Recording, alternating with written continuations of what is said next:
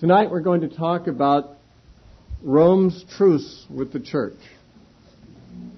There was a war, you know, between Christianity and Rome for almost three centuries, certainly two full centuries. Uh, in the early days of the apostles, most of the persecution of the church came from the Jews, not from Rome, at least in the earliest times.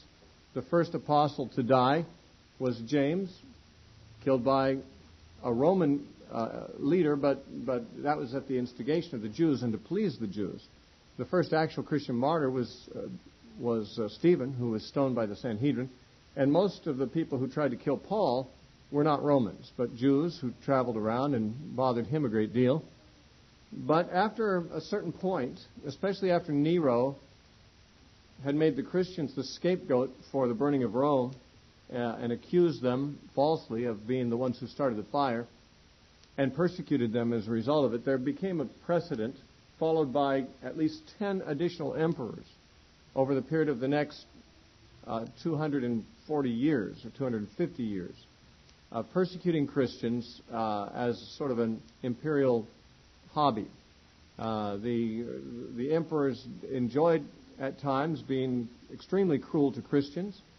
It was not. It is not the case that the second and third centuries were entirely uh, made up of persecutions, but it is the case that there were ten persecutions of varying intensity by ten different emperors. The last three of which were Decius, Valerian, and Diocletian. Now, Decius was, at least up until his time, the most severe persecutor of the church. And uh, fortunately, his persecution, though severe, was rather short. It only lasted for two years. But he was followed by Valerian, who continued to persecute the church for another, oh, seven or eight years. And after that, there was a long period, about 40 years or so, 43 years, where the church enjoyed some unusual freedom from persecution. But the persecutions were not over. A generation of Christians were born and grew up during a time without persecution uh, during that 43 years. But then came Diocletian. Now, Diocletian was the last of the emperors to officially launch a persecution against the Christians. And he only did this very near the end of his 20 year reign. Uh, he was the son of a, a peasant or of a slave. It's not clear. And he rose up through the Roman army to a position of authority. Uh, he may have had no education at all, uh, was possibly illiterate, at least in the time he was growing up. He may have gained education after becoming emperor. But during a time when Rome was very much in civil crisis, and there were many persons killing previous emperors and trying to take that position and wear the purple themselves, uh, he was proclaimed emperor by his soldiers, and he uh, conquered all rivals and became the emperor of Rome. But he didn't really, uh, he was different than other emperors. Most of the emperors simply were military type uh, leaders, in a sense, political military, but he changed the empire into more of a Oriental style monarchy where he wanted to be worshipped. Uh, Diocletian required people to call him Lord and Master and, uh, and to bow down prostrate before him when they approached him. This caused some problems for Christians, of course, at certain points because they would not call anyone Lord except Jesus. And that may have been one of the reasons that persecution eventually broke out against them. But Diocletian is normally remembered, except for the, uh, the end of his reign when he began to persecute the Christians, he's remembered as a very effective, surprisingly innovative ruler. And he made a number of reforms uh, militarily and economically and politically that were quite striking. One of, one of the reforms he made was that he divided Rome into two major districts, the eastern and the western. Now, eventually, uh, about a century later, there actually were two empires. There was an Eastern Roman Empire and a Western Roman Empire, but that didn't. That's not what Diocletian started. He just he divided Rome into various districts or smaller portions because he thought the empire was too large to be ruled by one man which is a pretty modest thing for a guy to say when many emperors before him had uh, attempted to rule the empire all by themselves. And uh, for a man to be a world dictator is an ambition that many men have had, but he, he actually wanted to share the rule with other people.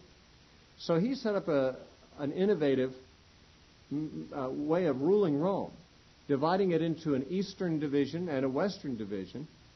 He set up an Augustus over each side, an Augustus in the west and an Augustus in the east. He himself took up residence in the east and was the Augustus, which would be the primary ruler of the Eastern Roman Empire. And in the west, uh, he set up a man named uh, Maximian to be the Augustus in the west. And each Augustus had an assistant or a subordinate ruler called a Caesar. Now, realize the word Caesar had been used for centuries before in another manner, but in the time of Diocletian, a Caesar was sort of like a vice president to the Augustus. The Augustus was the principal ruler, the Caesar below him. And, and the reason he did this, apparently, is that Diocletian was concerned about the instability, especially that occurred in the empire when there was a turnover of uh, emperors. Whenever there was an emperor getting old or unpopular, someone would rise up to assassinate him and try to take his place. Well, it, it may have been just out of self protection that he didn't want in his old age to be assassinated. I don't know what really motivated him. But he set up the system that would, he thought, prevent such things from happening. There would not be one ruler to snuff. There, and, and really, uh, the Augustus would have a pre-set date that he would abdicate the purple. And he would then turn over the Augustus role to his Caesar, his, his uh, subordinate. And then that subordinate, that Caesar, would become the new Augustus and would appoint another Caesar below him. So there's this succession that would take place, so, uh, ideally, generation by generation, and there would be no need for violence or uh, there would be really, it'd be much more difficult for any one man to take over the whole empire because there's two separate districts with their own successions going independently. Um, it is believed that it was at the instigation of Galerius, who was the first Caesar under Diocletian. When Diocletian was the Augustus of the Eastern Empire, Galerius was his uh, subordinate, his Caesar. Uh, Galerius was very hostile toward Christians. Interestingly enough, Diocletian's wife and daughter were Christians. And Galerius married Diocletian's daughter, and uh, who was a Christian, but he was very hostile toward Christians. And even when Diocletian stepped down uh, on the prescribed date, he, he, actually retired into civilian life, as and he required his counterpart in the West, Maximian, to do the same. Uh, and so these next two men came to power. Um, Diocletian pretty much gave up persecuting Christians at the end of his reign, but Galerius was inclined to continue the persecution somewhat. Um, but I'm getting ahead of myself. Diocletian, when he began to persecute the church, it was 303 AD. And the persecution took the form of executions. He, he first of all arrested and executed bishops, the leaders of the churches in various cities. He also destroyed church property or confiscated it. And he also ordered the destruction of all the sacred books of all the churches. They would actually require the bishops, before they were arrested, to surrender the sacred books. And some bishops wouldn't do it. Um, and others, in order to protect the congregation, because the threat was if they didn't surrender their sacred books, all the congregation would be killed uh, some of the bishops, in order to save the lives of their congregation, did surrender the books. There was later a controversy over whether these men who surrendered the books uh, would be admitted back again into the church when the persecution ended, because some ministers, I guess, let their whole flocks be slaughtered rather than turn over the scriptures. To tell you the truth, that seems a little bit uh, unnecessary. I mean, not not that uh, not that the church will do well without scriptures, but uh, after all, I imagine a lot of the scriptures were fairly memorized anyway, and uh, to have all the congregation killed so that you don't have your Bible taken away is, I guess, more symbolic than practical. Uh, but this kind of persecution was going on for a while. And for a change, the martyrs' heroism began to have an impact on the citizens of Rome, who were mostly pagan and although a century or so earlier, Tertullian had said that the blood of martyrs is the seed of the church, uh, implying that when martyrs die, persons are converted by their testimony. This was not true in the time of Tertullian quite as much as it was later in the time of Diocletian. It must have been true in some sense in Tertullian's day, or else he wouldn't have said it. But it was really true in the last persecution under Diocletian. Many, many people were converted by seeing the heroism of the martyrs. And uh, in fact, there were people who were not Christians and did not convert, but they sympathized with the martyrs. Uh, they complained and criticized the government's policies of persecution. They wanted to stop the bloodshed. Uh, they didn't have any animosity toward the Christians, and there were even some non Christian citizens who hid and protected Christians from the persecution, so that the government's policy, for the first time, became extremely unpopular.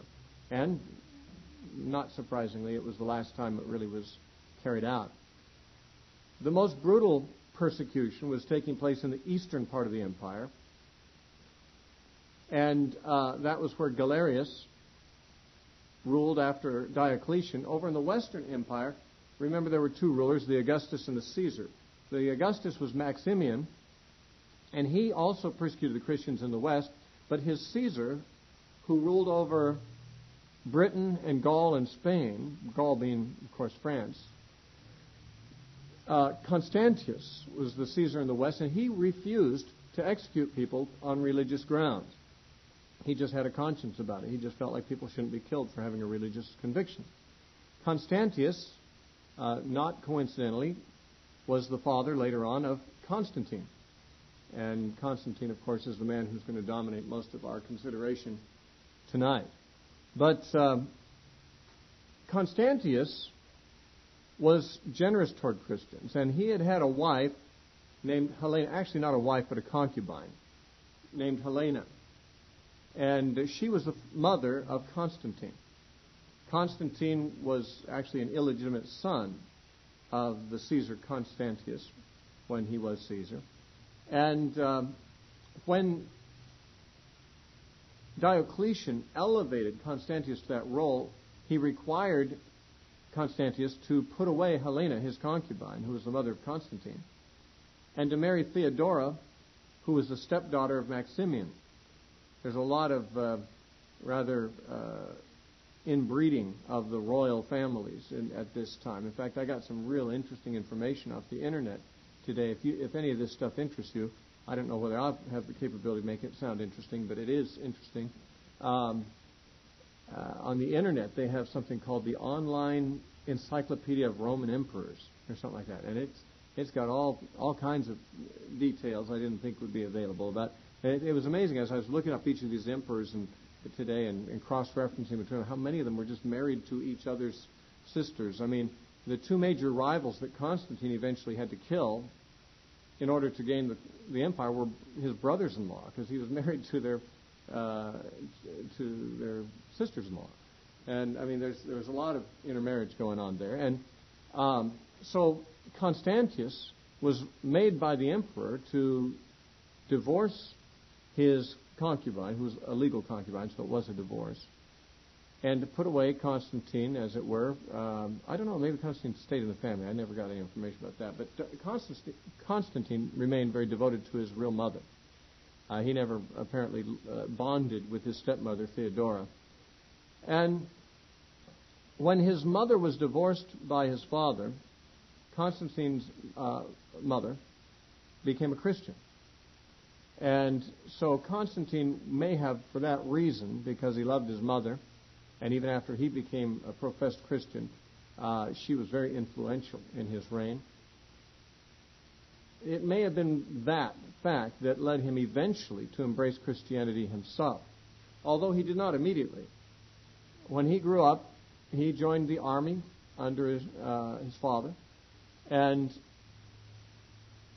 and he embraced the religion of Helios, the sun god. It's one of many Roman religions available. And there's a sense in which he almost never renounced that religion, even when he professed to become a Christian, as we shall see a little later. But he was a worshiper of Helios. And uh, here's how things progressed to cause Constantine to come to power. His father, Constantius, died, and his soldiers, who were very loyal to him, proclaimed Constantine the new emperor, or the new Augustus, really. Now, Constantine was not really in line, in the line of succession to become the new Augustus. When Maximian, the former Augustus in the West, had died, Constantius had become the Augustus, but he only lived a year after that and died, and therefore Severus, who had become his Caesar, should have become the new Augustus if the succession that Diocletian had set up had been followed. But uh, Constantine was more popular with the soldiers than Severus, and so they proclaimed him the new emperor, the new Augustus. And the Augustus in the east by this time was Galerius because Diocletian had stepped down in 305. And Galerius felt like he was too far away geographically really to interfere with this proclamation of Constantine as the emperor in the west. And so Galerius did not intrude or, or get involved with that. And his uh, his Caesar, I don't want to get these terms wrong, Augustus and Caesar and so forth. Uh, in the east, Galerius' Caesar was a man named Maximi- Maximinus. I don't know if it's Maximinus or probably it's Maximinus. That's how I'll pronounce it, I guess. And he had a son named Maxentius. And when he saw that Constantine had been proclaimed emperor, pardon? It was Maximian's son, right? Who did, whose son did I say Maxentius was? Okay, sorry about that. You're right. Those two names are too similar Maximinus and Maximi- Maximian. And since I don't speak Latin, I'm not even sure where the accent goes on those syllables. Pardon me. You're right. The um, son of Maximian, who had been the Augustus before Constantine's father, felt like he had more of a right to be the ruler in the West than Constantine had. Okay, now we got that straightened out. And so Maxentius, the son of Maximian, killed Severus, who was the only uh, reasonable rival there to Constantine and himself in that role. And he went and entrenched himself in Rome, and the people of Rome, in the city of Rome, declared uh, Maxentius the emperor of the West. Well, Constantine was uh, in the West, but he was not in Rome. He was in Gaul uh, with the troops. And so he marched against Rome uh, to conquer it from Maxentius, who was proclaiming himself to be the successor of his father. Now, Galerius was in the east, and he declared not Maxentius, but Licinius, another man, to succeed Severus, who was killed. Now, if you have the chart I've given you, some of these names appear. Uh, I realize these names are unfamiliar to almost all of us. At least almost all the names are. And therefore, I realize it's hard to follow. That's why I gave you a handout. Hopefully, that helps a little. But Galerius, who was the Augustus in the east, appointed somebody to replace Severus in the west, since the Augustus position in the west was up for grabs, so to speak. Maxentius and Constantine both were rival uh, candidates for the Augustusship, so it fell to Galerius in the east to appoint someone to replace Severus, and he appointed Licinius, who becomes significant later on.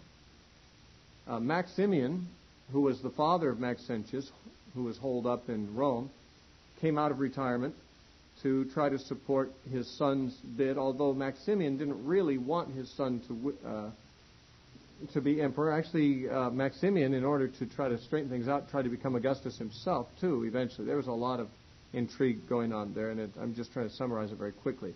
It was a complex way in which Constantine came to power. But to make a long story short, there was Max, Maxentius was holed up in Rome, saying he was the emperor, and had most of the citizens of Rome uh, going along with him.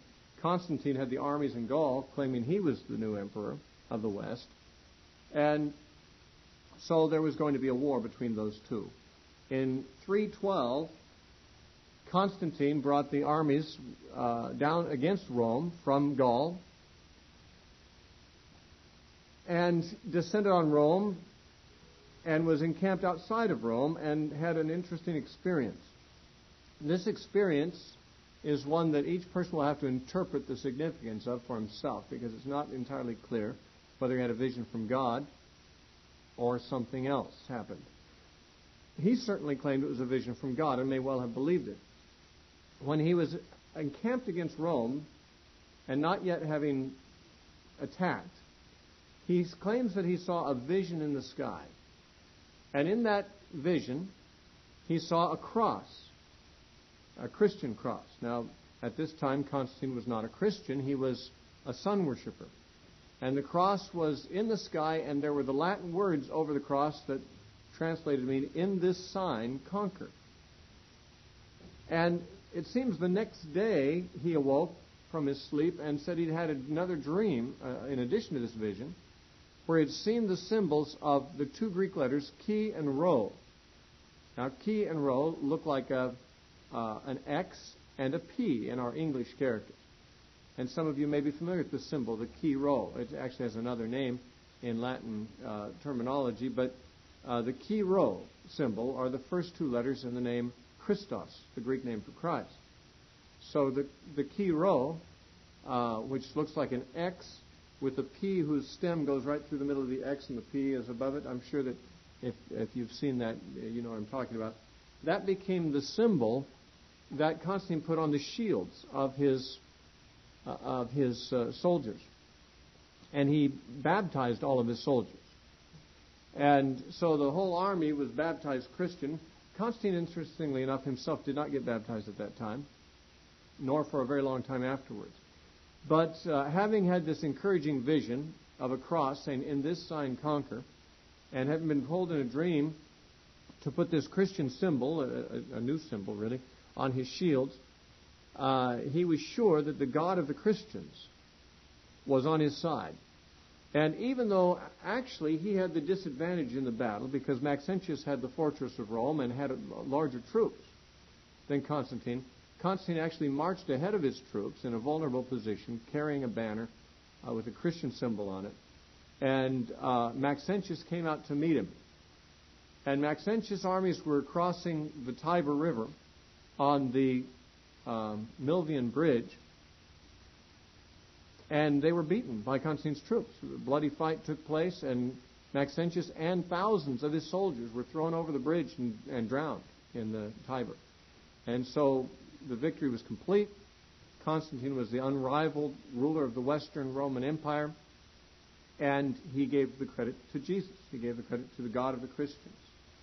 Uh, now, he did not actually joined the church at this time. It's interesting enough. He, he certainly favored Christianity in all of his rule. He encouraged people to become Christians. But it is not true, as some people mistakenly think, that Constantine made Christianity the mandatory religion. Some people mistakenly think that Constantine made it mandatory to become Christian. Now that's getting a little too ahead of time. It did become mandatory to become a Christian about 80 years later when another emperor, Theodosius, uh, made an, an edict that made it necessary for people to profess Christianity or be persecuted as pagans. But Constantine didn't do that. Constantine uh, followed the policies more of his father. Remember, Constantine's uh, mother was a Christian, but his father had not been a Christian but had refused to persecute Christians. He had refused to execute Christians when he was uh, the Caesar in Gaul and in Britain and in Spain, the region that he ruled. And so he picked up his tolerant tendencies from his father and his pro Christian tendencies from his mother, no doubt. And he may have even had a genuine experience, such as he described, of a vision and a dream. And so he favored Christianity, and he brought about tremendous changes. Now, by this time, through a series of circumstances too complex to go through right here, uh, Licinius, who I mentioned earlier, whom Galerius had appointed to replace the dead Severus, whom uh, uh, Maxentius had killed. Did lose you there? To make a long story short, Licinius had become the emperor of the Eastern Roman Empire although he started out as a replacement of Severus in the west through a series of campaigns against Maxim- Maximinus, uh, Licinius became the eastern Augustus. So we have the eastern emperor was Licinius, and the western emperor now was uh, Constantine. And at first, these men were on reasonably friendly terms. In fact, one of the first things that Constantine did uh, once he uh, became emperor was he and Licinius got together in the town of Milan and issued the famous Edict of Milan. This was in the year 313.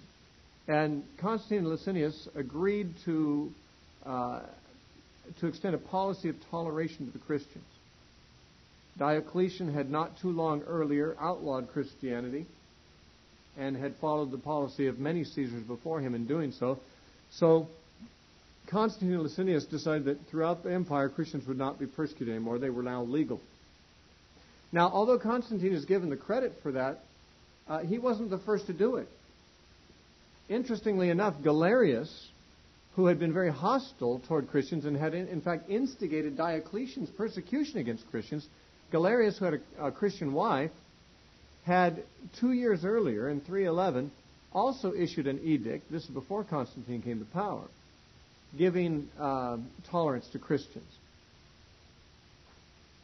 Galerian's wife had pointed out to him that he could not conquer the God of the Christians and that he ought to come to terms with them. And so uh, Galerius, though he never really converted as far as we know, uh, he actually was the first to issue an edict of tolerance. But Constantine and Licinius, after Constantine conquered Rome, uh, then continued that policy and made it official at the uh, Council of Milan, where the Edict of Milan was issued. Later on, Licinius reneged on this, and in the Eastern Empire, Christians were persecuted again for a while under Licinius. Um, but Constantine became the sole ruler of the whole empire, even over the east, in 324, which was, of course, about uh, 12 years after he had come to power. Uh, the reason that this happened is it's long and drawn out, but he basically had a series of wars with Licinius and beat him and had him killed. And uh, so he killed Maxentius and he killed Licinius, both of whom were brother-in-laws of his, brothers-in-law. Uh, though I don't know that there was very much love between brothers-in-law. I'm not even sure there was very much love between wa- uh, husbands and wives in those royal marriages. Many of them were political conveniences. And so, with Licinius dead in the east and Maxentius dead in the west, Constantine had no rivals. He became ruler over the whole Roman Empire, thus reversing what Diocletian had set up of a divided empire. Uh, there were still districts, but Constantine ruled over the whole thing. And uh, that was in 324. And that meant that even the Christians in the East weren't persecuted anymore. And that ended officially the persecution of Christians in the Roman Empire, at least by the emperors. They might have been persecuted by neighbors or by other parties, but they weren't persecuted by the emperors anymore. And that was a, a, a, surprising, amazing turn of affairs for the Christian church. And you've got to, before, I don't want to pass over this lightly because we have to recall that Christians had known persecution from the emperors on and off for two and a half centuries. That means that when the Christians in Constantine's day, before he uh, granted toleration, when, when they were being persecuted by Diocletian, they just assumed persecution was something that is going to be permanent for the church until Jesus comes back. Their Christian ancestors for 250 years had known little peace and had known mostly persecution, more persecution than times of peace. And imagine how startled they must have been when the emperor, for the first time in history, was a Christian. The emperor, by definition, was a pagan. But now the emperor was a Christian and declared he wouldn't persecute Christians anymore, and no one else could either. of course, they might have felt that with the instability of the Roman Empire in the past, uh, Constantine might, you know, die and, and be replaced by somebody who would persecute them again. Actually, it did happen. Not not the next ruler after Constantine, but a few rulers down the line. A guy named Julian the Apostate became emperor, and although he did not severely persecute Christians, he did reinstitute, try to institute paganism as an official religion in Rome. He died, and uh, and and his attempts failed. And uh, later Emperor Theodosius uh, outlawed paganism altogether, so that Rome became thoroughly, uh, officially Christian again. And Julian the Apostate was the last of the so-called non-Christian emperors. Now, the Christian emperors weren't very good Christians sometimes, but they were professing Christians. And that made all the difference in the world in government policy. And we in America have never really known religious persecution. Uh, I mean, not officially. The government in America today has many in it who are not friendly toward Christianity or toward Christian principles at least, and would like to silence Christians, or even maybe they'd like to stamp us all out for all we know. It's hard to say what they want. Uh, some of the policies they have might seem as if persecution is not very far away from, from us now. But it would not be too amazing to us. It'd certainly be happy, a happy circumstance, most of us think, but not too amazing. If, if a man became a, a president of the United States who was a Christian, it wouldn't be the first time. There have been many presidents of the United States who have at least been professing Christians, and that there would be, in fact, our present president professes to be a Christian. Uh, Southern Baptist, as a matter of fact. I mean, uh, I'm not sure many Southern Baptists would like to own him as, as one of their own, but, but the, we're, we're so used to the government allowing Christianity, or at least paying lip service to Christianity as a good religion. Even the bad guys in government would like to be thought of as Christians. But so it, it, we can hardly relate with the sense of shock that must have come upon the Christians in Rome after 250 years of persecution, where not just persecution, where people thumb their nose at them, but people feeding them to lions and burning them at the stake and torturing them and arresting their bishops and torturing them to death, and, and unless they would deny the faith and making people bow down and say Caesar is Lord. I mean, all that was over forever. And uh, the church wasn't quite sure what to do with it. You see, there had been this long war between two ideologies the ideology of statist power in Rome, the pagan state, and the ideology of Christianity, the kingdom of God, the followers of another king, one Jesus. And as it turns out, it would appear that Jesus had won. In fact, in his book, The Story of Civilization, Will Durant wrote about this period and said, quote, There is no greater drama in human record than the sight of a few Christians scorned or oppressed by a succession of emperors, bearing all trials with fierce tenacity, multiplying quietly, building order while their enemies created or generated chaos, fighting the sword with the word, brutality with hope, and at last defeating the strongest state that history has ever known. Caesar and Christ had met in the arena, and Christ had won. Now, that is how many historians write about it. Christianity conquered the Roman Empire. Well, not really that Christianity did. If Constantine's conversion was genuine, then it was Christ who conquered Constantine because uh, his professed his professed conversion was based on a supernatural vision, which, if, if genuine, came from Christ. It wasn't from the Christians. But then again, we do know that he had a Christian mother who had more than a little bit of influence on him before that time, although she had not led him to convert to Christianity. She was profoundly influential in his life. So we could say that the lives of the Christians had had an impact on him, and Christ himself may well have had an impact on him. And uh, so we could say, in a sense, Christ conquered Rome. But it's it's sort of a, a statement we we're not we'd have to look at as yes and no. Uh, seen another way, Rome might have conquered Christianity, or paganism might have conquered Christianity at this time. There's different ways of looking at it, and it's one of the most difficult times in church history to really appraise from a Christian point of view, because many things changed after Constantine's conversion that have continued to color the mindset of Christianity ever since, things which arguably are not positive from the standpoint of the kingdom of God. But I say arguably because there are some who would say the very things that I, that I think are negative, some people think they're not so negative. Let me say, first of all, some of the pro Christian reforms that Constantine instituted when he came to power. First of all, he restored the properties of the church that had been confiscated during Diocletian's persecution. They had never been returned, although Diocletian was gone uh, from power. The church had never had their properties returned. So uh, Constantine returned all the church properties that had been confiscated back to back to the church. Uh, many of the churches that Diocletian had had burned down and destroyed, uh, Constantine rebuilt them.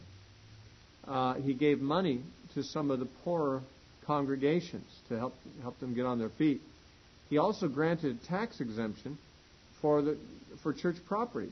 Apparently, there were property taxes in Rome at that time, but church properties were uh, given tax exemption, sort of as we have it here now. Uh, he granted a military exemption for clergy. so that they would not be drafted, although obviously not all Christians were granted that exemption, only the bishops and the presbyters. Uh, he also gave the bishops of the churches the authority as judges in their dioceses. So, which means um, that they could do church discipline, and the state would stand behind it. They were like they were like uh, government judges. And if the if the bishops, for example, would excommunicate somebody, the state would stand behind that. They, it was like a judge in the court uh, proclaiming some kind of penalty. So he elevated the bishops to having authority uh, like that of the judges in the courts. At his mother's encouragement, uh, that is Helena, he went to Palestine, and as I understand it, his, his mother was prone to have visions too. And through visions, she determined the exact site of the birth of Jesus in Bethlehem. And there was a church built there called the Church of the Nativity that Constantine built at his mother's encouragement. And she also allegedly, through inspiration, uh, found the exact spot where Jesus was buried and resurrected. And there was a church built there, the Church of the Holy Sepulchre, which is still there today. Both those churches are still there today, built by Constantine in the early 4th century. Those churches still stand in Bethlehem and in Jerusalem today. Uh, it's amazing to us because there's no buildings in America more than about 200 years old. Uh, if you even go to Europe and see a building that's a thousand years old, you think, my goodness, that there's not that's five times as old as any building in the United States. And when you go and find you know places in the ancient Roman Empire that were built in the fourth century, 1600 years ago, and they're still standing there, still worship services there. Uh, it's I don't know, maybe, maybe, it doesn't do anything for you, but that just that just I marvel at that. Although I'm not uh, I'm not sentimental about ho- holy sites. Uh, I just think it's an amazing thing, whether it was a church or some other building. Any building that, that that's that old is just an amazing thing to me, having an American perspective. But those churches are still there, built by Constantine. Um, a couple of things he did later on, and we'll have more to say this probably in our next lecture when we talk about the Council of Nicaea. Constantine actually called the Council of Nicaea in 325 to settle what we call the Arian heresy. There was a, or the Arian controversy. Uh, Arius was a person who was teaching a doctrine about Christ that is identical to the Jehovah's Witness doctrine on the subject of Christ and the Trinity. And uh, Arius was a very popular and influential teacher in the empire. Uh, there were, of course, Trinitarian bishops who were uh, debating with Arius, although Arius was very uh, influential. And uh, the empire was somewhat divided. The Christians weren't sure whether Arius was right or whether the ortho- what we now call the Orthodox position was right. But Constantine was concerned about how these schisms in the church might divide the empire, and that would, of course, hurt him politically. So he called for a council of the leading bishops to meet in Nicaea.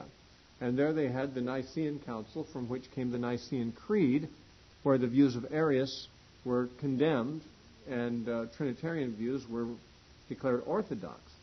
Uh, later on, Constantine, although he had issued uh, an edict of tolerance, which was supposed to extend to all religions, including Christianity, he later uh, revoked that freedom for her- heretical sects like Arian cults and so forth. So uh, he didn't banish paganism altogether, but he didn't allow heretical Christianity to uh, to have freedom. He destroyed the meeting places of the, some of the heretical sects after after he helped to establish orthodoxy. Now, um, those things certainly show that Constantine believed that Christianity was good. They certainly don't teach us or prove to us that Constantine was a true Christian in the sense that we think that word. Not everybody who says he's a Christian is one. I hope you know that much. And Constantine actually never even allowed himself to be baptized until he was on his deathbed, which makes it clear he didn't want to make that full commitment anytime during his lifetime. He favored Christianity. He encouraged people to become Christians. He believed Christianity was good. But we don't really have any way of knowing, and I don't personally have a conviction that he was truly a Christian himself. And many of the things that he did that we regard to be favorable toward Christianity in my opinion, were some of the problems, caused problems in the later church. Now, I'll say more about that in a moment. But his Christianity may have been more political than than genuine. Now, I don't want to say that his conversion outside the walls of Rome was an entirely political thing.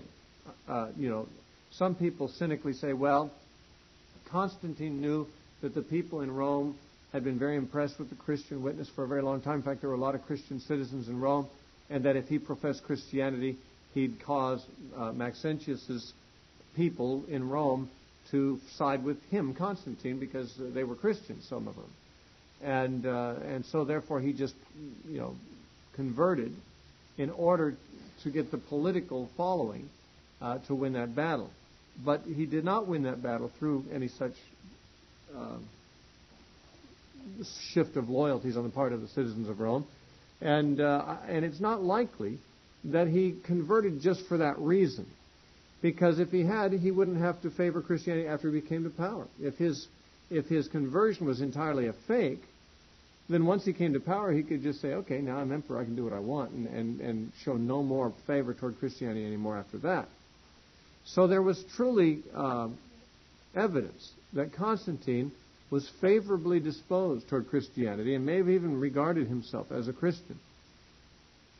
But, as I said, he did not get baptized. Even when he had all of his troops baptized, he didn't get baptized himself until his deathbed. Actually, just before his death, he took off his purple robes and put on the uh, white robes of a baptism neophyte, and he was baptized and he died in those robes. And uh, and if you know if his heart was toward God, he may have gone to heaven. But for, it's strange that he didn't bother to be baptized till late in life. Now, one re- one of the reasons for that is that the church was teaching in those days, uh, and was teaching fairly early, even in the second century, that baptism washes away sins. And uh, of course, that's not taught in the Bible, but there are some verses that can be construed to say something like that if you don't understand them properly, I think. But many in the early church believed that if you're baptized, it washed away sins, but only past sins.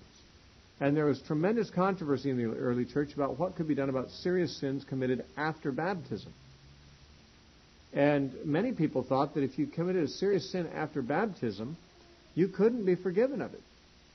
And so it became sort of a habit among many when they began to be favorable toward Christianity to put off their baptism as late as possible so that they'd have less likelihood, less risk of committing sins after the baptism. And that might have been the way Constantine was thinking too. You know, he didn't want to go to hell, so he just waited and was baptized at the end of his life so that he wouldn't commit any more sins after that. Um, that is probably part of his reasoning, but he did not. Um, he, he was not ruthless at all against paganism. He did not root paganism out of the empire very quickly. Uh, only very gradually did he uh, promote Christianity in the place of paganism. Now, this might have been politically expedient. Remember that even though Constantine had become a Christian, that doesn't mean that everybody in Rome favored Christianity. There was deeply ingrained pagan convictions in the majority of Roman citizens. And uh, they, many of them might revolt if he sought to force them to become Christians. And he did not do it very quickly. Um, he made the first day of the week a holiday. Now, you know the Christians had met on the first day of the week. Uh, in the Didache, an early church document, that first day of the week was called the Lord's Day. In fact, Revelation chapter 1 also has a reference to the Lord's Day. It's not certain whether it's a reference to the first day of the week or not, but because Jesus rose on the first day of the week, it's, uh, it was a day that meant something special to Christians. And Constantine made the first day of the week a, a national holiday and called it Sunday. Before that, the Christians only called it the first day of the week. He called it Sunday after what he called the Venerable Day of the Sun. Remember, he was a sun worshiper. He worshipped Helios, the sun god. And uh, there's some uh, evidence that he began to interpret Helios, the sun god, as the god of the Christians. And, and Jesus in the literature that was written at that time is frequently called the Sun, S-U-N, of righteousness. That, of course, is a term from the Old Testament. In Malachi chapter 4, Jesus is referred to as the Sun of righteousness who would arise with healing in his wings. But um, uh, but that term for Jesus, the Son of Righteousness, became a very popular term in speaking about him in the religious writings of the day. He also made December 25th the official birthday of Jesus. Now, December 25th, prior to that, was already celebrated by the pagans as the birth of the sun. After, uh, yeah, I, I, don't know all the solstice information and so forth, and I've heard it, but I, am just not good at it. December 25th was already a pagan holiday in Rome, where they celebrated the birth of the sun. And, uh, and so Constantine declared that day to be the birthday of Jesus. And so Christmas on December 25th was uh, Constantine's invention. When he later moved his capital from Rome to Constantinople, and I should point this out, Constantinople was the name that he gave to uh, the major city in the Eastern Church, which had been called Byzantium. And he named it after himself, Constantinople, and made it his, the new capital of the Roman Empire. Uh, but when he did dedicate Constantinople, he used both Christian and pagan rites of dedication. And so he wouldn't offend anybody. So you can see he was not a thoroughgoing reformer. He was not, you know, trying to weed all forms of paganism out of the empire at all, even though he favored Christianity. He didn't even remove the pagan images from the coins until about uh, five years after he came to power. For five years, he ruled and still had coins in circulation with pagan gods' heads on them. And uh, he eventually removed those. He did, as well as restoring Christian places of worship that had been destroyed, he also restored pagan temples that had been destroyed. And there's some obscurity surrounding these events. Uh, it is known he executed his own son and his nephew and his second wife his reasons for doing so, I've read from two different sources, are simply unclear. It's not known whether he saw them as conspiring against him and therefore, you know, traitors, or whether it was because of uh, them maybe favoring paganism. It's hard. It, we, we just don't know. But it doesn't sound like a very Christian thing to do, to tell you the truth, to kill your son, your nephew, and your wife. And so there are some reasons to wonder whether Constantine was a true Christian. By the way, of course, uh, I'm leaving out an awful lot. During his reign, he, he did a lot of fighting. After he, uh, you know, came to power, he, he fought in many wars, including uh, a, number of wars against Licinius. And uh, he killed all his adversaries, even though he was professing favoritism toward Christianity. And so we, we find in Constantine a, a strange mixture of Christian sympathies, but also maybe evidence of an unregenerate man. And that isn't too hard for us to imagine. There's many people around us today that we know who have Christian sympathies, but we would dare say they're probably unregenerate. Uh, they, they've never been baptized, they don't go to church, they don't live a Christian life, but they think well of Christianity. I think it's a good thing. And Constantine was probably belonging to that class. Now, I want to talk for the rest of the time we have here about the legacy of Constantine for the church. When the church was at war with Rome, of course, it, we're not talking about a fighting war with, with uh, you know, weapons. We're talking about an ideological war. It's, it was the, a spiritual warfare. It was truth versus paganism. Christians fought that war by laying their lives down, not by killing people but by allowing their enemies to kill them without resistance. They fought that war by preaching the gospel. They fought that war in all the ways that Jesus did and that the apostles did. But when Constantine came to power, they were no longer at war with Rome. As a matter of fact, war, uh, the, Roman emperor had said, "You're right. Christianity is true. Uh, you won't have to fight me anymore. There will be no more war between Rome and the Christian church. In fact, Rome will become the sponsor of the Christian church it sort of put the church into an identity crisis, as you could well imagine. You know? I mean, uh, for, for centuries, we were enemies with the government. Now the government's paying our way. Now the government's building our churches.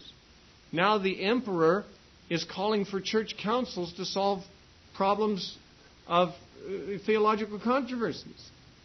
Now the emperor is able to appoint bishops. I mean, the emperor is it was very intrusive into the affairs of the church, always in a way that he considered favorable, but still intrusive in a way that the emperor had no business being.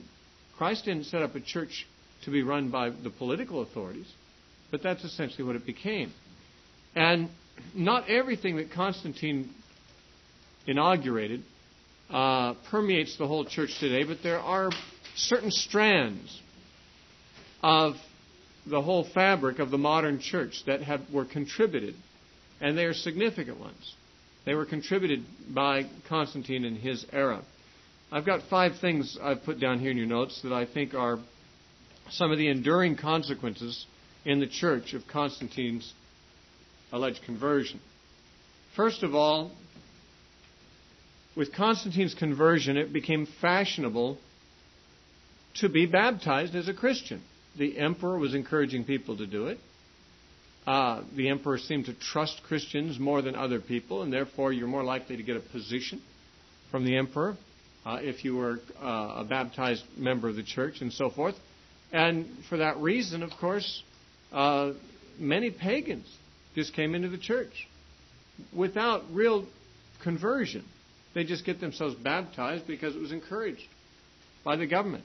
So that the church, which had formerly, in times of persecution, been populated only by people who were willing to lay down their lives for Jesus, and therefore people who were almost certainly really converted, uh, in times of peace and prosperity and flattery from the government, the church swelled with people who were not in any case regenerate and certainly would never have laid down their lives for the gospel.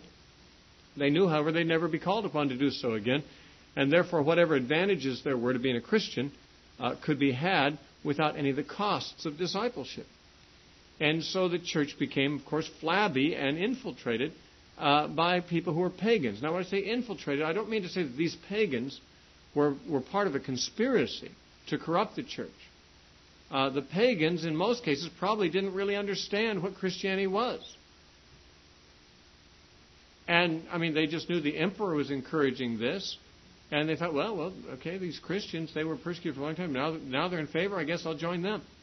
Whatever it takes. I guess you get this water thing happen to you, and then you're in there. Okay. And so the church became filled with baptized pagans, really. And that is something that has not changed, even to the present, in lands where the church is at peace with the government. Now, I'm not wishing for times when the church is not at peace with the government. I'm not, I'm not saying we, uh, I, I wish we were being persecuted. I'm just saying we need to be aware of this consequence. In persecuted countries, which still exist today, and the, where the government is persecuting Christianity, it is likely you'll find a higher percentage of the people in the church true Christians. And you won't find the ranks swelled with a bunch of pagans who are just pretending or think they're Christians and aren't. Now, we live in a country where Christianity has been favored for a couple hundred years. And, um, and of course, Christianity in this country and in Europe, where Christianity has been favored for even much longer, uh, the churches are full of people who probably don't know the first thing about conversion. They might even think they're Christians, not fully understanding what it means to be a Christian. They might be offended if you suggested, you know, maybe you're not really a Christian. Uh, you know, but but Christianity requires a changed heart a total surrender of the self, a dying to self, a denial of self, and taking up a cross to follow Jesus. And there's many people in the churches who've never even dreamed of doing such a thing as that. Never heard they were supposed to, and if they heard it, they didn't like the idea and never gave it another thought, but they stayed in the church. And that's the case today. It's, uh, it's not Constantine's fault, but we can say that it is part of the legacy of Constantine when the church became officially tolerated and recognized and encouraged by the government, uh, it's one of those consequences that the church became less pure in terms of its membership. Now, it, rather than blaming Constantine for that, because I don't think Constantine intended that to happen, I could blame the devil for that. I could say the devil used this situation and got some advantages in it. But it really is the church's fault, of course. The church, to a certain extent, uh, should have applied more stringent tests to membership. If, if martyrdom was not the issue any, any longer, they should at least have uh, had some sort of interview or some sort of catechism or some kind of uh, screening process uh, as soon as they began to suspect that people were joining the church who weren't really converted. But the, the church kind of fell, into, fell prey to this. And I don't, although I think it's the church's fault uh, for succumbing to the flattery of the world, I'm not sure I want to be too harsh on the church of that day because I think they were caught by surprise. What would we do? What if the government of the United States decided that it was going to banish all New Age and cults and paganism and make America an officially Christian country again? And uh, that all religions other than Christianity are going to be sort of persona non grata, and uh, you uh, if you're going to be, you know, advanced in government, advanced in business, uh, you should be a Christian. Uh, wouldn't lots of Christians say, "Wow, praise God! Look what God has done in our country." You know, the government is sponsoring Christianity, but um, we should be on our guard. Of course, that's not likely to happen, by, by the way, here. But um, I, it'd be so unexpected, for one thing.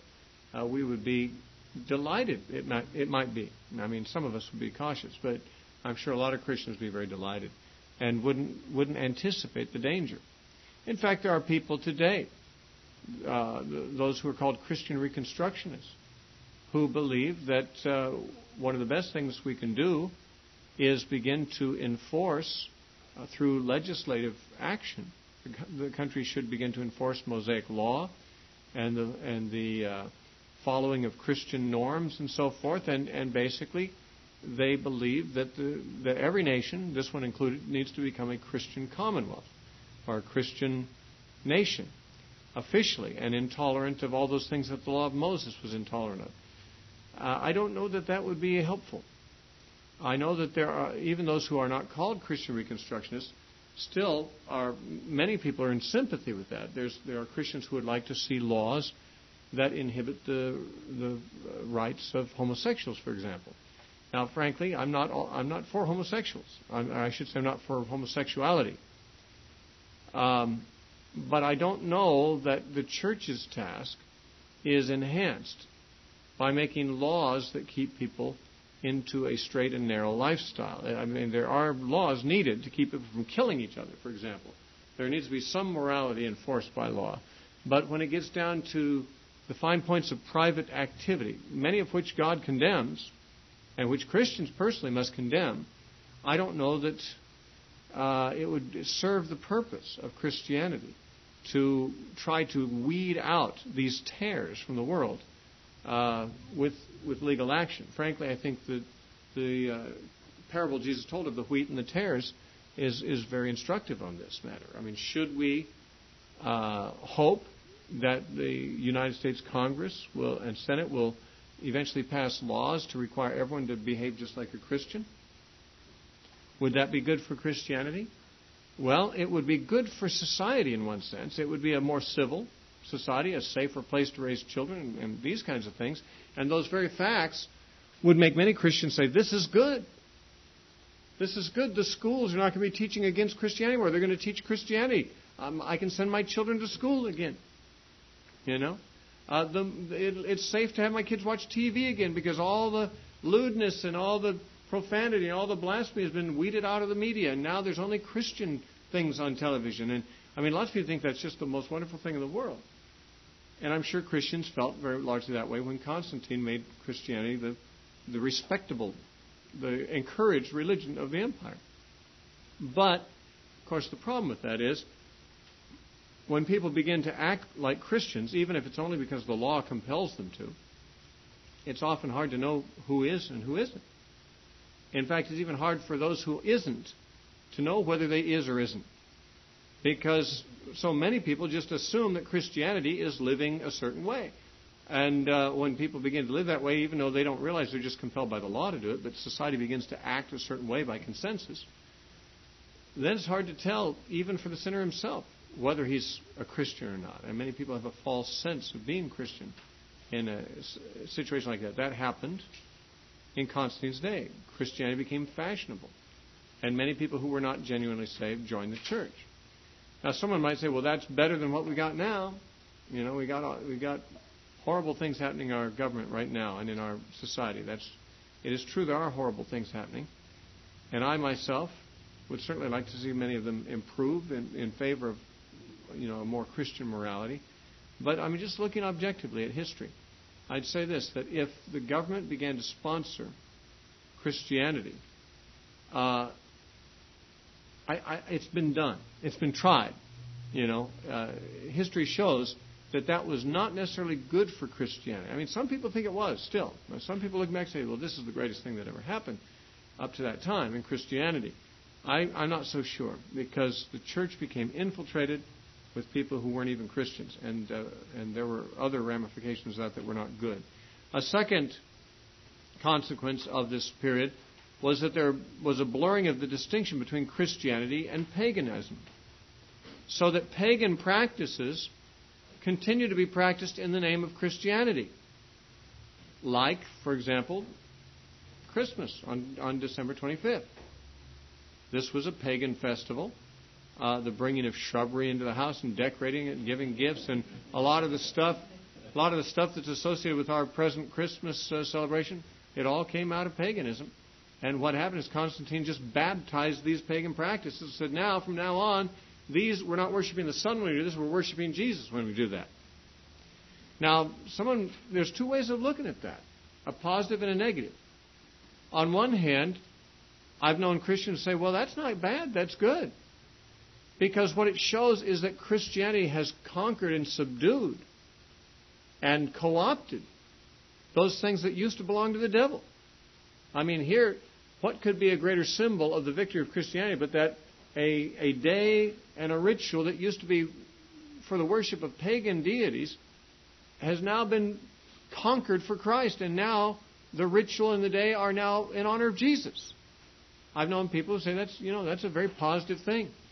But there's another side of that, and that is that when you begin to mix pagan practices with Christianity and put Christian labels on them, you begin to lose sight of what Christianity is and what paganism is. And that's why when God told the children of Israel when they were going to conquer the land of the Canaanites, do not learn the religious practices of the heathen. He said, do not inquire, how do these people worship their gods, that we might worship Jehovah this way? The mixing of two religions is called syncretism. And this has been a problem. It was a problem in Israel in the Old Testament time. They mixed Baal worship with worship of Jehovah. Uh, Aaron made a golden calf like they used to worship in Egypt and said, This is Jehovah now. This is the God that brought you out of Egypt. It's Jehovah. But it wasn't Jehovah. And God didn't think it was a good idea to syncretize Judaism with paganism. And I, although uh, we don't have any scriptures written after the time of Constantine for God to tell us what he thinks about it, I dare say he probably had the same opinion about the syncretism of Christianity with paganism as he had about the syncretism of Judaism with paganism. Uh, and so there was a paganization of the church. The church began to eventually have icons, which are statues. I mean, what the Old Testament would call idols and images came to be part of the worship of the church. Why? Well, pagans like those. It attracts more pagans to the church to have that. It, it arouses feelings of reverence among people who don't really know God but who have pagan sympathies. Uh, even the whole introduction of great, great cathedrals and basilicas and, and huge ornate churches. This was uh, largely to accommodate the pagan tastes. The Christians, for most of their history, had either met in homes or in the catacombs or in the woods or in other secret places because of persecution. During times when persecution had lapsed, there had been Christian meeting houses had been built, though it's probable they were not real ornate and real elaborate, but uh, because the churches were not rich. But when Constantine came to power and started giving money to the church, were, uh, you know, the, the church could build buildings that competed with the pagan temples for ornamentation.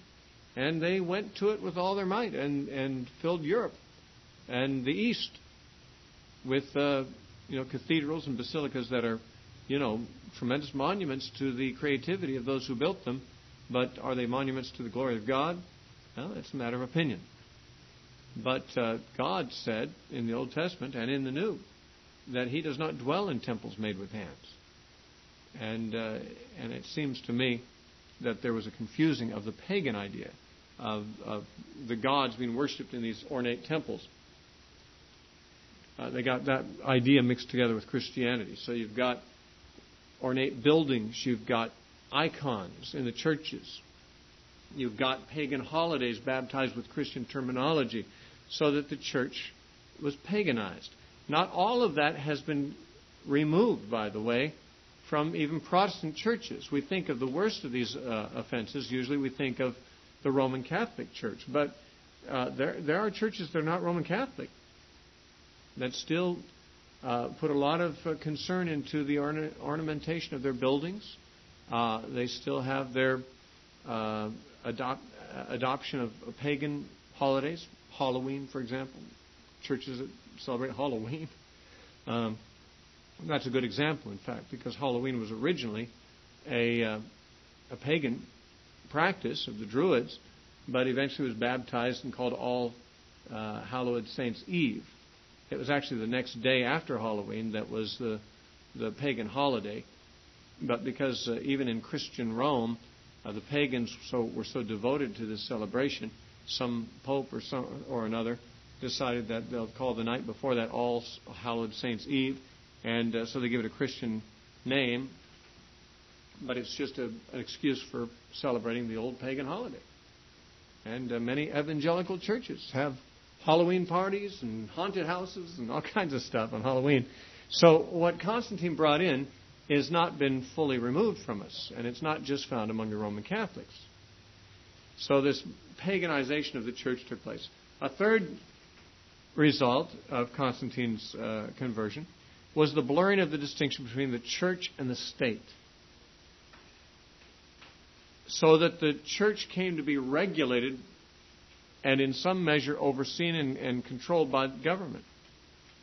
And the interests of the government were considered to be mixed with the interests of the state.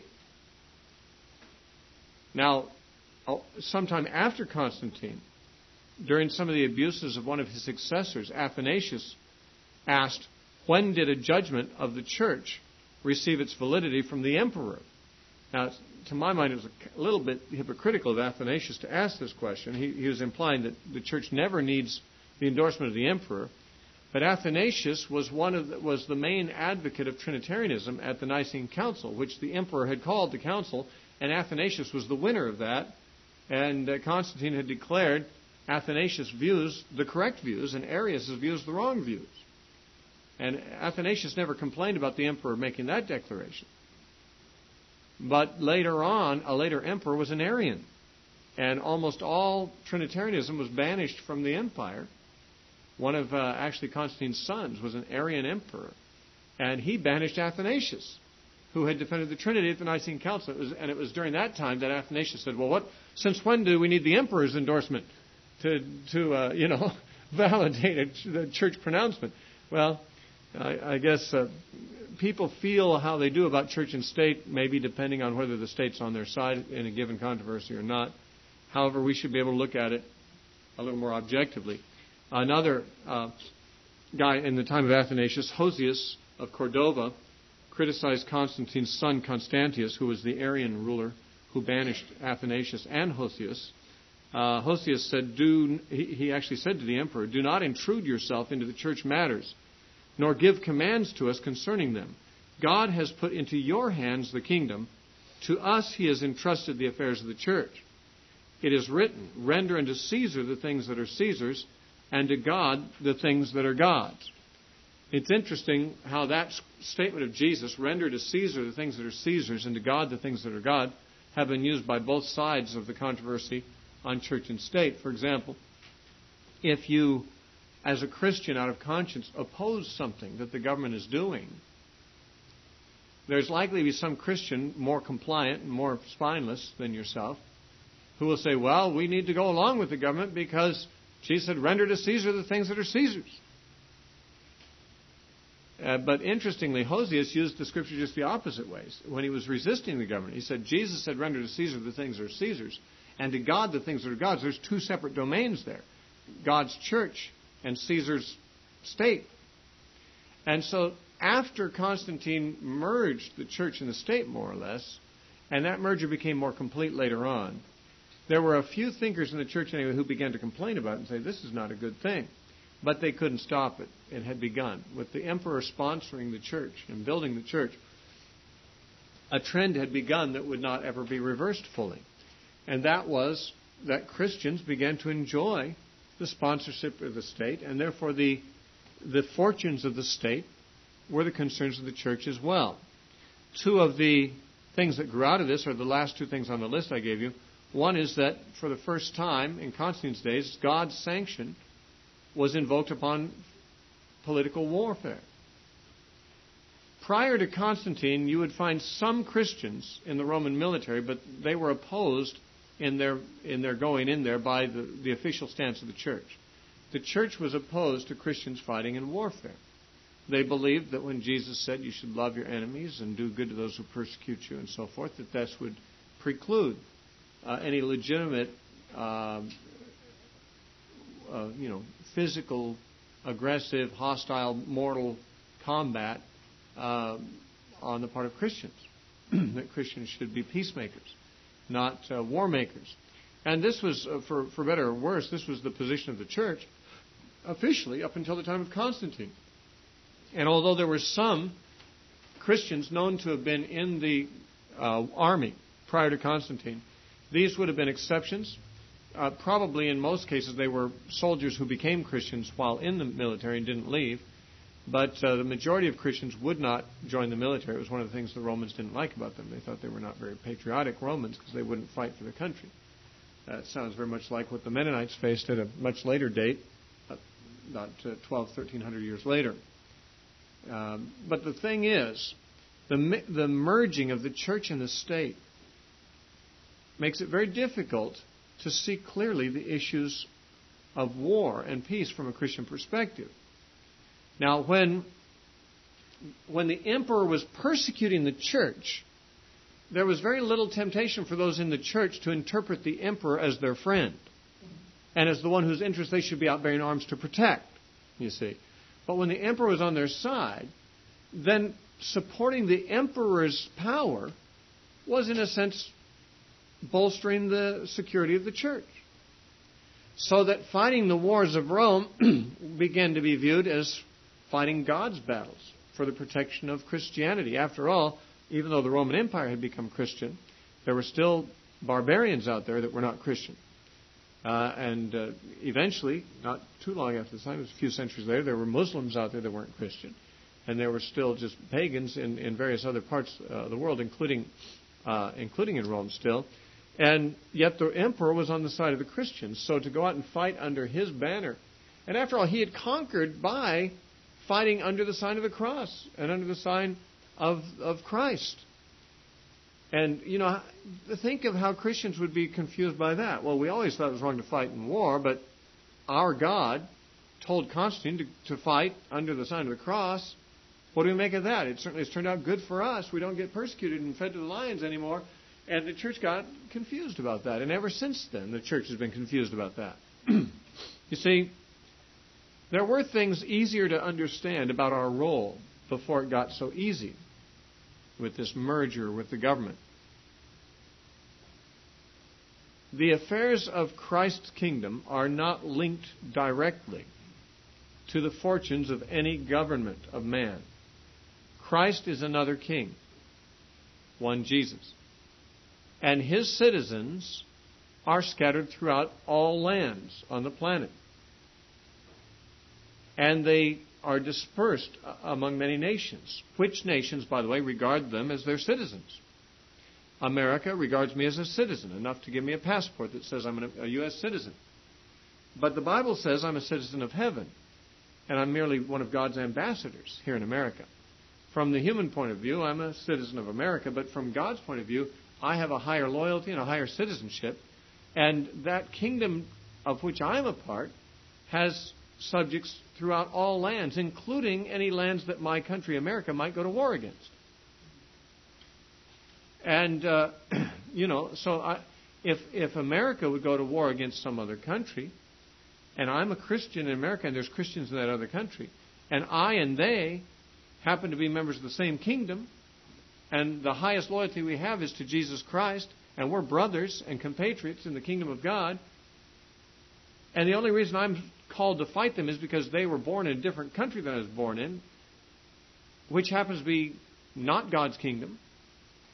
I mean, it, it, it, there ceases to be any convincing argument why I should fight these battles. When I might even find myself fighting against God. I might even find myself fighting against my brothers and sisters and killing them. For what purpose? To support a nation. It happens to be the nation I was born in, but for no other reason do I defend it but that I was born here. If I had been born in another nation, I would as, as eagerly defend that nation against this nation. I mean, it is so self centered. Patriotism and nationalism are akin to, in my opinion, school spirit and racism and a whole bunch of other things I don't agree with. And the only reason I disagree with them is they're irrational. A black racist is a racist and thinks blacks are best because, well, because he's black. If he was white and a racist, he'd think the whites were best because, well, he's white. You know, uh, uh, I remember when I was in high school, even though I was a, sophomore class president, I never could get into going to games and, and, and, and rooting for our team and going to the pep rallies and, and cheering for our school. I thought, why? I mean, all these pep rallies, they say, we're the best, we're greater than everyone else, our school, yay us, and, you know, songs about our school and stuff. I thought, what's so exciting about my school? I mean, if I had been, if my parents had lived on the other side of town, I'd be going to this other school. Would I be thinking it was the best just because I was there?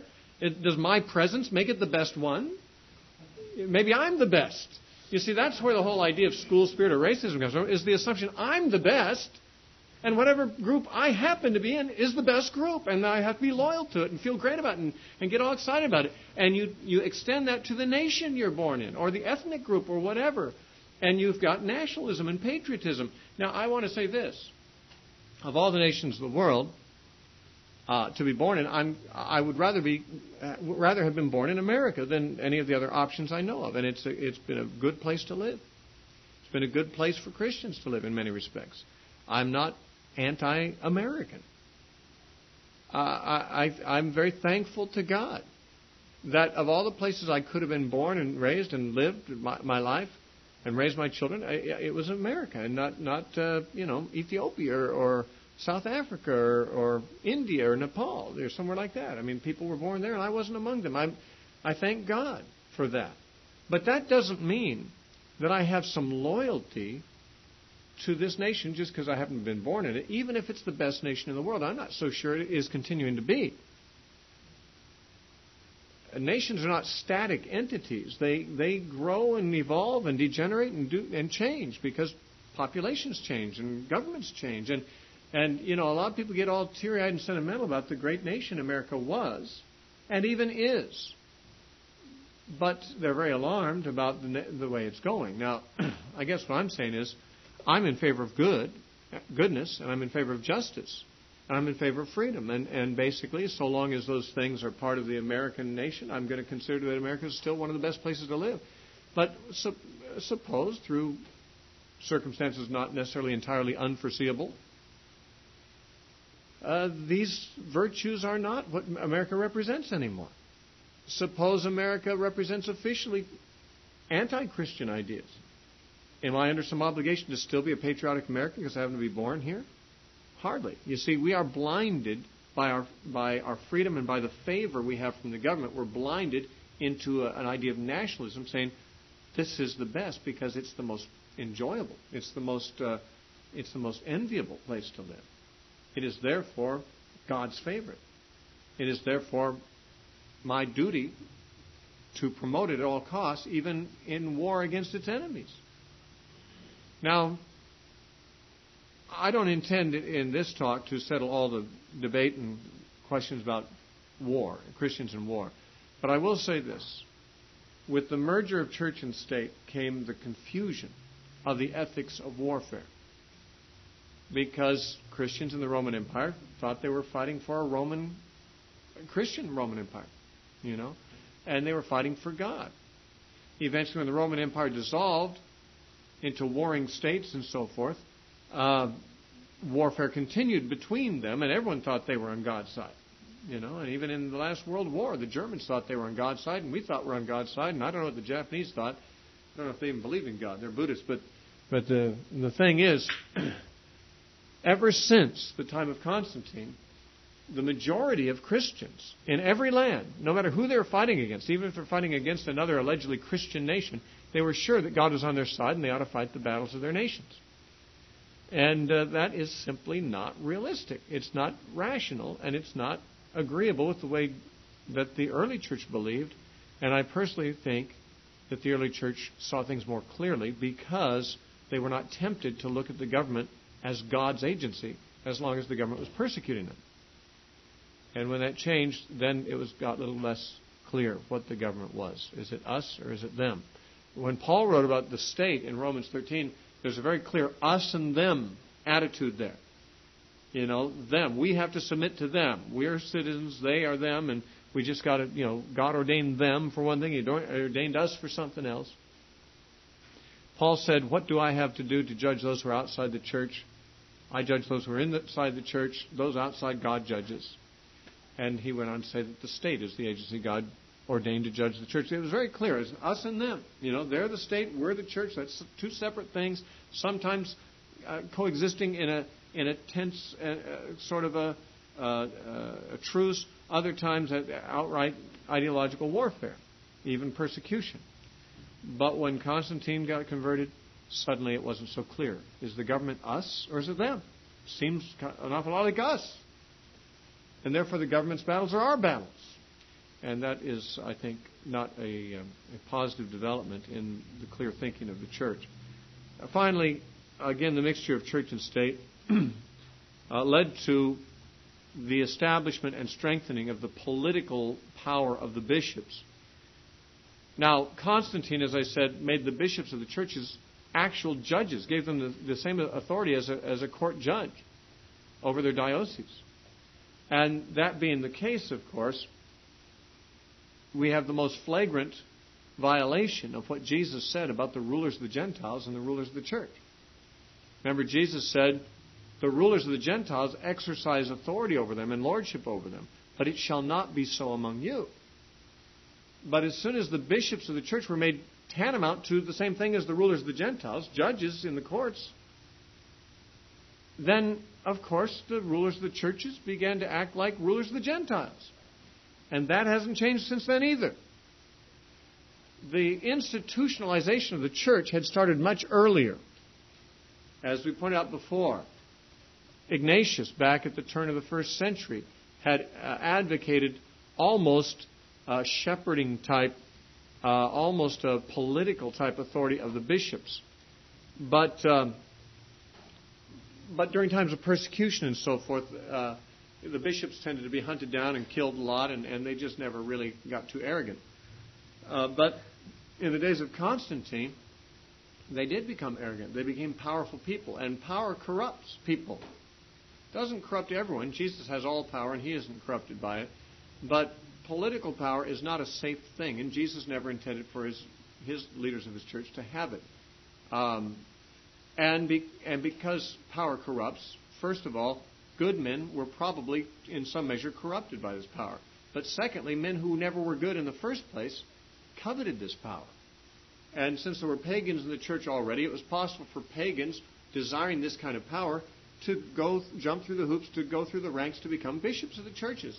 Till it wasn't very long until you had totally unconverted men as bishops of many of the churches. Eventually, the bishop of Rome, the pope, was an unconverted person and ruling the whole church so that the church became a politically structured organization, partly in that it had secular political authority. The bishops had authority, it was sort of like a secular authority, but really their, their jurisdiction was just within the church for church discipline and so forth. But it still was a ruler of the Gentiles type of authority, so that the church leaders became more like bosses than like servants. And even today, I don't care if you look at the Roman Catholic or any other church, look at any Protestant church, look at any evangelical church, any charismatic church, you're likely to find, in more cases than not, leaders who think their position is a political one. They think that being a church leader is a privileged position rather than a position of servanthood and slavery, like Jesus said it is, of total self, uh, you know, surrender to service to the people. Uh, so these are the legacy that I can see coming down to us through the ages for the past 1700 years since Constantine. Uh, these are, I think, leaven. I think these are bad strains, uh, sickness that got into the body of Christ and it has never been totally eradicated. There have been many reform movements attempted. One of the most heroic was the Anabaptist movement, of course, where uh, many martyrs were made trying to just get back to doing it the way the Bible says to do it. But even they had blind spots. Everyone has blind spots. I have my blind spots. Don't ask me what they are. I'm blind to them. But uh, but everyone has blind spots, and, uh, and and the church has never fully recovered from the damage that was done. Next time we'll be talking about uh, the Arian heresy and the Council of Nicaea. Of course, we'll still be talking about the period of Constantine, but we'll, we'll be looking at a totally different angle. So we'll stop there. And uh, if you have any questions, we can take them at this time. Yes, John?